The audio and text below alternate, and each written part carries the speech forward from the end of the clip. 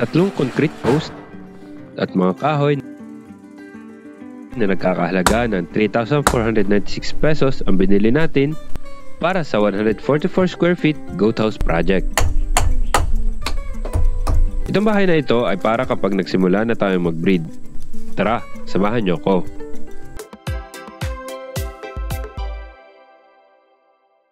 Ngayong araw, ang gagawin natin, di ba, natapos na natin nung nakaraan ang ating bubong. Ngayon, mag, ano na tayo, dito na ulit tayo sa baba. Mas safe na tayo dito. Ang gagawin natin ay gagawin na natin yung pamakuan ng ating mga patpat. So sa ngayon, mag-estimate kami ng bibilhin pa na mga kahoy na 2x4 at 2x2. Yan. Medyo marami pa, medyo magastos pa pero ganun talaga para mataas ang ating project. At ubos na kasi yung kahoy namin. Ang plano namin ngayon ay maglalagay kami ng suporta kasi sa mga comment sa video natin, ng mga nakaraan, medyo mabuhay daw, which is true naman. Pag kami lumalakad dito, ramdam namin. So, ang plano is maglalagay ng concrete na poste dito. Tatlo. Isa, isa sa gitna at isa sa dulo. Para additional support at kaya concrete na poste. Para naman, hindi anayin yung ating goat house. So dito naman, mga 2x4 at 2x2 dito sa pader natin. Na sa ganun, yun yung ating pamakuan. Okay, magsusukat lang kami. Haha.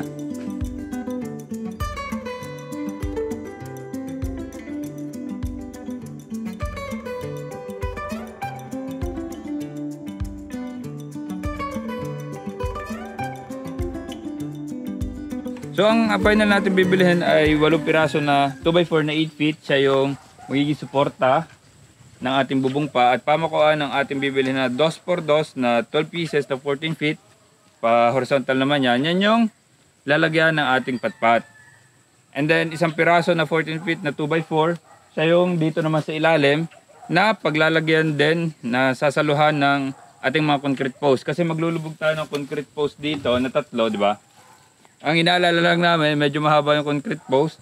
Eh, dos lang yung 2 feet lang yon So, medyo malalim yung ating lulubugan. Tingnan na lang natin mamaya kung kailangan natin magputol para hindi naman mahirap magbaon. So, tara, bili tayo. Sa biyahe, dumaan na naman tayo sa gas station para maggas. Pag sumasakay ako dito, palagi kong ginagasa ng marami para sure na hindi ako kasama sa titirik. Bumiyahe kami at unang pinuntahan ang bilihan ng concrete post. Tatlo ang kailangan natin. 550 pesos daw ang isa nito kaya binili ko na. Ang total natin dito ay 1,650 pesos.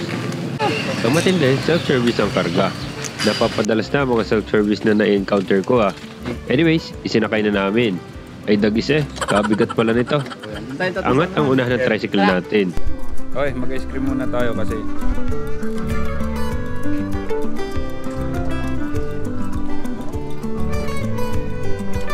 Okay, kahoy naman yung bibili natin. Dito rin tayo bumili na nakaraan. eh. Marami naman silang kahoy dito at matitigas. Kaya dito ulit tayo pumunta.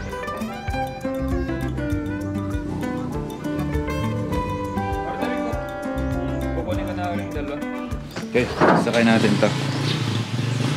Self-service. Kulang pa ng 10 dos por dos. Magpapreserve na lang ako kasi yung pagbabaon pa lang nitong ating concrete post medyo mahaba-habang proseso na yon kaya basta may uwi namin tong ah, mga 2x4 malaking bagay na yon at concrete post.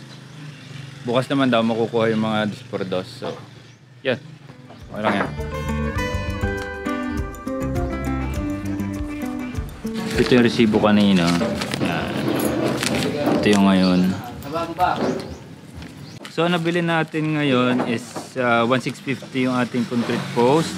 Tapos yung ating mga kahoy is 1846. So ang total natin ay 3496. Pero bukas pa yung 1630 pa. Dabi-dabi na mga materialis tayong pinamili pero para matapos natin yung ating project. Bukod pa dyan ang pinareserve ko, kaya ikinarga na namin. Self-service na naman. Ano ba yan? Pero ox lang yan, kayang-kaya. Okay, tara. Thank you po. Thank you. Magaganda naman ang kahoy nila kaso self-service nga lang. Yun ang problema. Ang hali na. Wala pa tayong luto sa bahay. Tanda 5 star. Masarap daw manok nito. Kaya nga. Ay, Yeah, may perya dito. Pabili nga pong manok. Balita ko masarap ang manok din eh.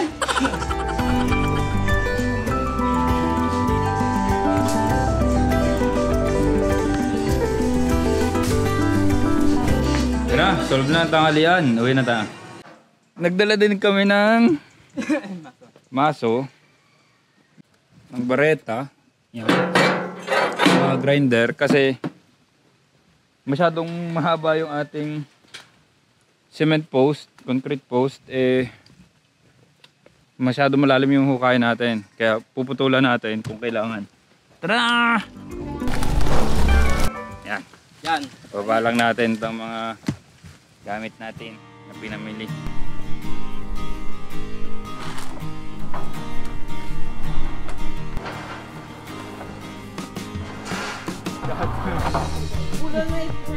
Okay, yung ating concrete post, doon na natin sa farmhouse muna bababa. Kasi puputulan muna natin ang mga bakal at saka sukatin natin, puputulan natin.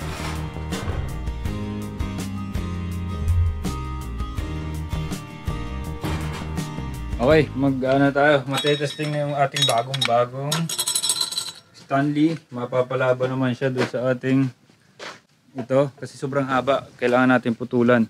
Tingnan natin kung madaling bawasan to. Pag mahirap, ay di wag. Mag-ukay tayo ng malalim. Pero kung madali naman bawasan, bawasan natin. Kasi pitong pi pala ito. Ah, grabe. Ay, dos lang yung ating paglalagyan.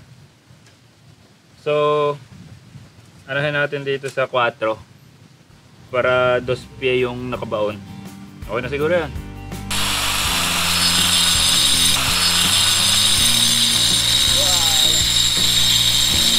Nakat na natin yung desired height natin. Try natin masuhin.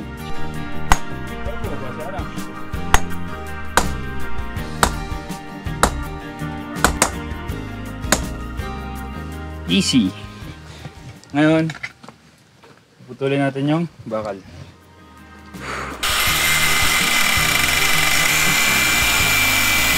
Pinutol din namin yung bakal sa dulo. Kasi ang purpose niya, madalas, di ba, ang purpose ng ganito ay pambakod. Eh, kaya may ganun. Pero di naman natin yung kailangan. Okay, habang nagpuputol kami doon ni John Paul, si J-Man, siya yung naghuhukay ng ating pagbabaunan dito. Bilis eh. Tapos na rin kagad ditong kabila. oh. Para siyang, parang daga rin eh. Ah, napakalalim mo yan. So, tapos, ang problema, magiging problema doon sa gitna. Paano siya hukayin, tapos meron pang pinaghaluan na semento. Anong paraan natin? Gulok, gulok. Gulo kang? Manghukay doon.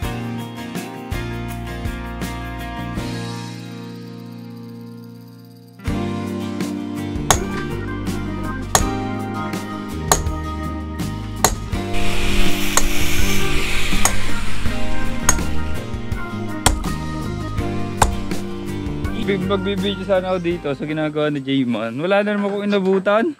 May mahi ka ata ito eh. Ayun o, putas na. Wala, ayos yan pero iba ang bili. Lagay natin, lagay na natin para doon sa hinukay ni J-Man.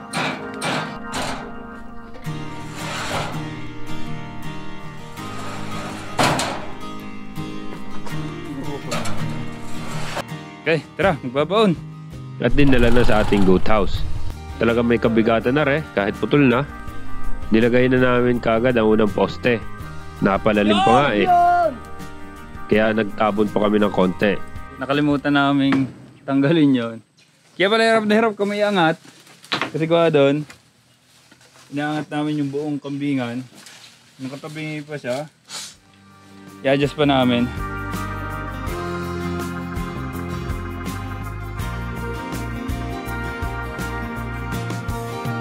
Okay. Okay na yan. Yung kabilang side naman tayo. And then yung gitna. Huli natin yung gitna. Medyo malalim yung nahukay.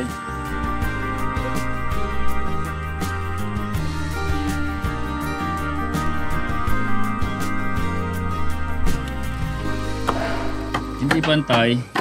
Hindi ko alam kung anong sino naglagay niyan. Okay na yan, rampa. Ating ano yan, tabtabin para magpantay. Okay, nag-shoot na yung isa dito. So dalawa na. Yung gitna na lang ang kailangan natin. Pero maglalagay muna kami ng 2x4 sa ilalim. Pag ganun. Para yun yung kanyang ah, sasapuhin. Kasi, kasi kung makita nyo yun, oh, nag-arc na itong mga 2x4 natin. Pag meron tayong panalo, iba Para sa gitnang poste naman, inalis namin ang naunang suportang kawayan sa ilalim kasi lalagyan natin ito ng 2x4 na kahoy. Okay, so ito yung ilalagay natin sa ilalim. Magpapako muna kami ng tigigisa na pa-slant para pag dala natin sa ilalim, may pako natin, didikit na siya at saka natin papakuan ng ah, mas malaking pako. May naisip kami bago, yung ating ilalagay sa ilalim, gagawin pala namin parang ganito. Lalagyan namin ng ipit na sa ganon, mas matibay siya at mas madaling ilagay sa ilalim.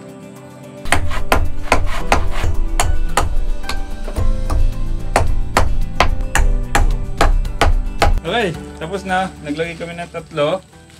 Yan. Yan na natin. Ipapako na natin.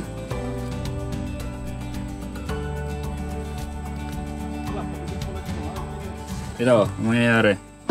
Yan, naka saklang yan dyan.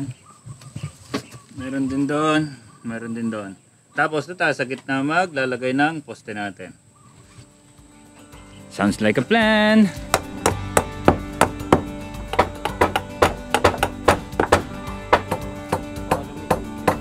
Okay, nakakapako na. Kaso wala na naman kaming detres na pako. Nag-improvise na naman kami. Pansamantala, da, yung mga maliliit na pako muna para madikit namin. Kasi yung way naman ng ating paglalagay ng poste natin is pataas. Wag lang siyang gaganon. May okay yan. At ah, pag na- tapos na, saka nat, at nakabila ng detres, saka natin susundan ng detres. Pero bago yan, merienda time! Bago natin ilagay ang huling poste, kailangan natin ng merienda, malamig na juice, at tinapay. Mga cute na tinapay. Okay, tapos na ulit ang merienda. Padilim na naman. Amin lang ihuhulog itong poste dito sa gitna.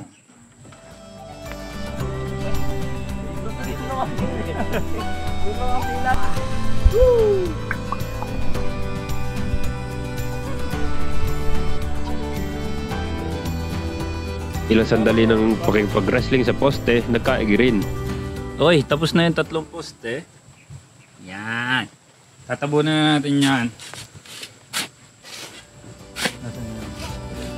At tinabunan namin at siniksik ang mga poste. Kailangan maganda ang pagkasiksik ng lupa para hindi na gumalaw ang poste natin.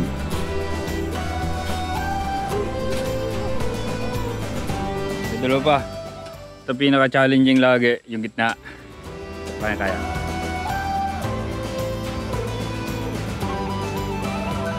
Tinata na tayo sa gitna.